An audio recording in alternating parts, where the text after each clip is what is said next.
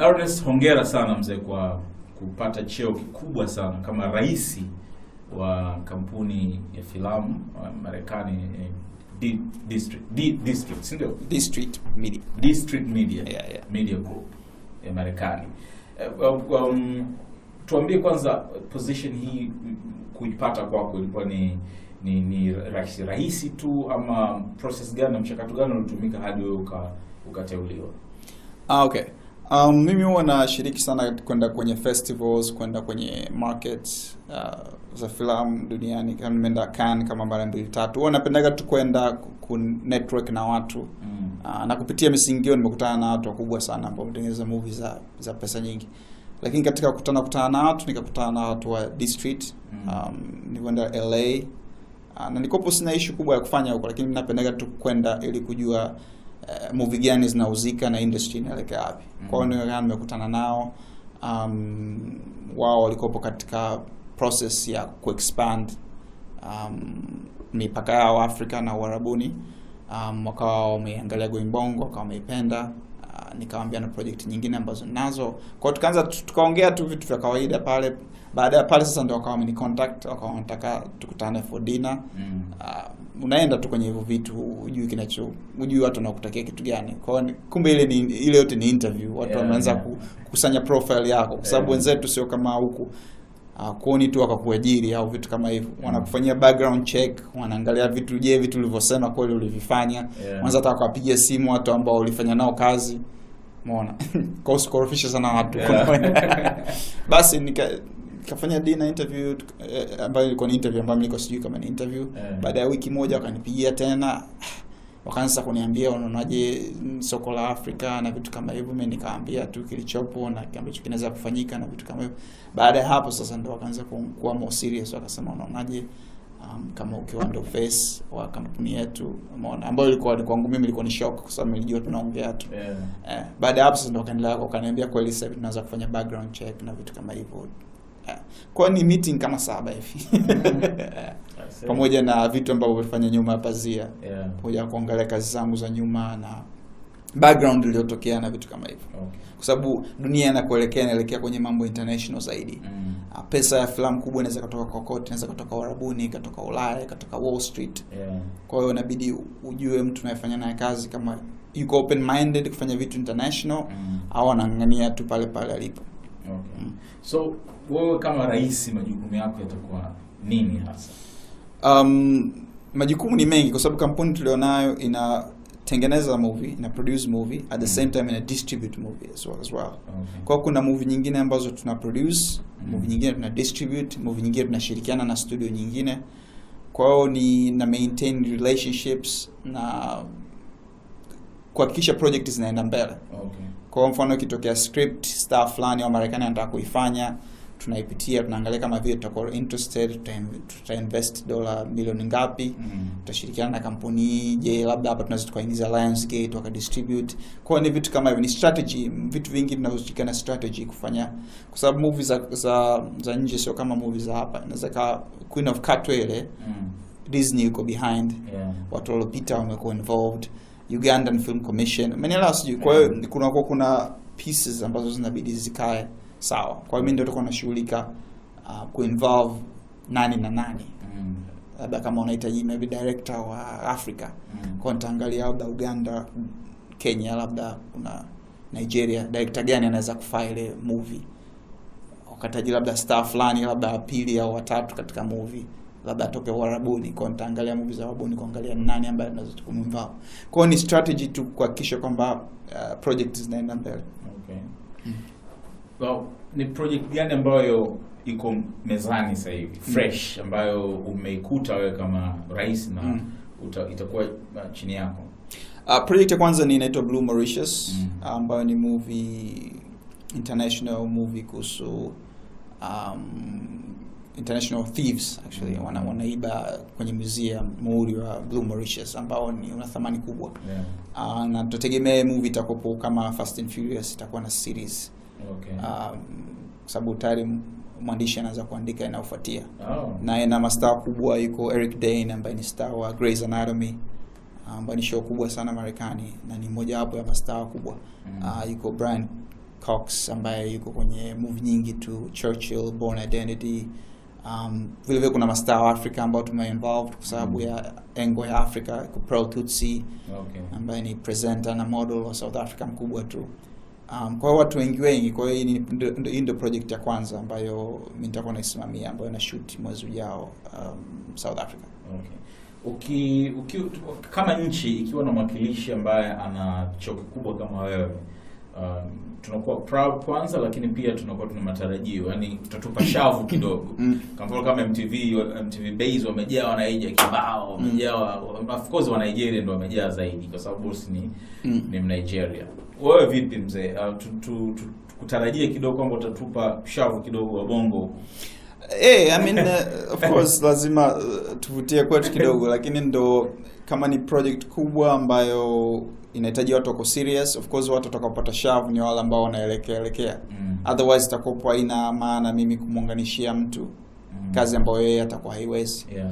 Lakini vile vile natumaini kuwaunganishia watu kazi za kwenda kujifunza labda nyuma pazia, kama kuna movie kubwa inafanyika na labda mtu fulani ambaye yuko serious, Mm. naweza kumuunganishia akaanza akaanza chini kidogo Yeah. kwa sababu ndo vitu vinavyoenda. Huwezi kujua after one two years Mm. anza kuwa ni, lakini huwezi katoka labda movie inaitwa Blue Mauritius Mm.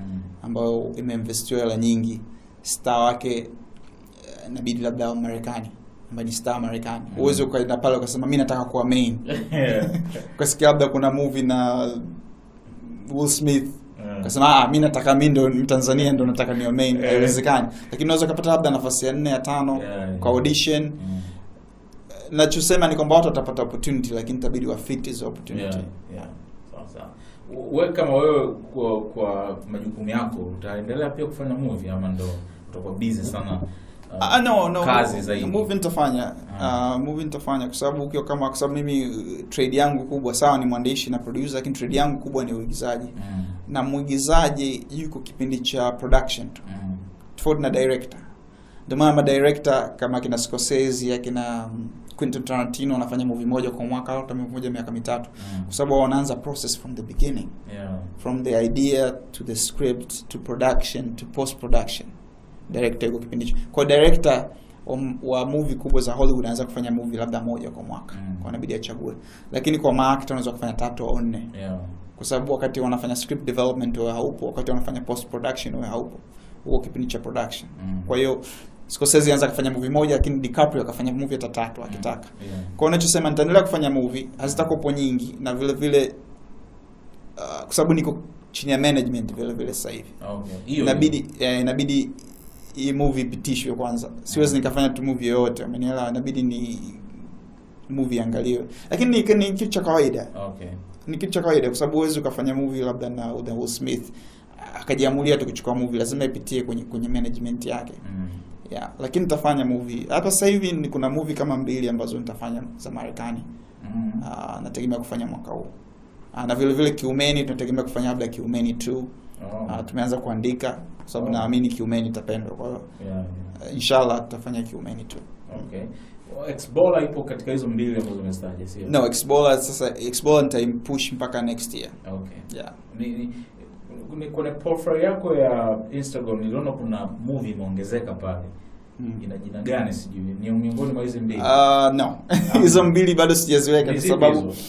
XM4 kuna kuna Cumen Bola na nyingine. Lady Killer Yeah, Lady Killer. Hiyo ni series niko naandika Okay, Hiyo okay. ni series um, yeah unajua ni kawaida mtu kuweka project ku remove Yeah, project yeah. unajua Mm. eh, hii ni kitu cha kawaida Yeah. uh, ukiangalia profile ya Brad Pitt au Smith ana movie hata nane tisa mwaka huu mm. yeah. lakini hawezi kufanya zote Okay. kwa zitaingia zitatoka kwa hiyo ni kitu cha kawaida tu ukiangalia kama Kiumeni imewahi Xbola Mm. Xbola ilivyoanza kufanyiwa kazi Kiumeni ilikuwa haipo Okay. kwa hiyo unaangalia tu vitu vingine project nyingine inaanza nyingine naipita kuna, Mhm. kuna vitu fulani labda hii budget imekuja haraka Yeah. labda hii kuna star ambaye atafanya this year next year atakuwa busy Mm. anafanya movie nyingine Okay. Kwa ni kawaida project kutoka na kuingia kutoka na kuingia yeah. Sawa, mimi ni, ni mwandishi pia, naandika vitabu na najua haso ya kuandika sio Mm. sio kazi rahisi. mm. Uh, nafahamu pia wewe ni mtu fulani ambaye uko na mambo mengi sana unafanya, sio sio movie tu. Mm. Okay, umejigawa vipi mpaka kupata muda wa kuandika labda series na kuandika Mm. endelea kuandika filamu tena kwa mfano hiyo Cumin 2 na zingine yaani unaji- unaugawaje muda wako I think unajua kuna- nilikuwa inspired nilikuwa kuna mwandishi mmoja maarufu sana wa Marekani yeye anaandika only 2 hours a day okay anaamka asubuhi mm. saa kumi na mbili mpaka saa mbili anaandika Mm. basi mnielewa sijui Yeah. nachomaanisha ni kwamba kama uko serious na kitu mm. haichukui muda mrefu kama unavyofikiria wewe yeah ukiwa consistent. Yeah. Yule anaandika masaa mawili kwa, kwa siku anaandika kweli masaa mawili kwa siku. Sio leo anaandika masaa mawili kesho sijui ajisikii Mm. sijui. Kwa hiyo cha- cha maana cha kufanya nimejaribu kuwa consistent. Yani Mm. kwamba kuna vitu ambavyo kila siku lazima nifanye. Okay. Na ukivifanya taratibu taratibu vinaisha. Kwa sababu mtu let's say unaandika peji tano. Mm. peji tano tu. Kwa kwa- siku kwa siku ambazo sio nyingi. Peji tano okay ni nyingi, Nyingi, yeah. lakini maneno kama no no no no. Eh, kio kitabu ya ni nyingi. yeah, lakini ikiwa ni script sio maneno mengi. Yeah, okay. so man- au tuseme peji mbili. Tuseme peji mbili tukaandika Okay. kila siku. Okay. Ndani ya mwezi una peji sitini. Mm. sawa? Mm. ndani ya miezi miwili una peji mia ishirini. Peji mia ishirini ni movie ya Yeah. masaa mawili. Yeah. Umenielewa sijui? Sure. Kwa hiyo muda upo Mm. lakini inabidi ujue una concentrate wapi okay. of course kama umelewa siku nzima asubuhi unaamka saa sita mchana mm. utapata muda lakini ukijigawa vizuri na- na- naamini unaweza kufanya vitu vingi Okay. lakini uwe serious sio mm. cha mwisho tutarajie nini kwenye uh, kwenye urais wako urahisi urais wako sio kugombea umechaguliwa na hauna wasiwasi no mi sina wasiwasi. Mimi niko okay. Uh, kwa sababu hii ni, ni position ambayo mimi naamini ni kwa trend muda mrefu. Kwa sababu mimi nilikaa Mm. sa watu wamenijua kwenye going bongo lakini mi nimeanza kukaa LA naangalia movies zinazofanyika nasaidia watu miaka saba nane sijatengeneza movie yote najifunza tu Yeah. kwa hiyo vitu vingi hata nilivyoingia Mm. kwanza language yote nishe- na- Yeah, najua yeah, yeah, yeah. Uh, Mm. contract zilivyo najua Mm. kwa hiyo sio kwamba ni vitu ambavyo sivijui sure kwa hiyo ni, ni fun to me actually Mm. kwamba naweza ku, kuweka pc na pc pc ikafiti vizuri kwa hiyo tutarajie i think vile vile nafasi sidhani kama sijui kama kuna rais mwingine hollywood ambaye ametoka nchi ya kiafrika labda inaweza ikawa mm.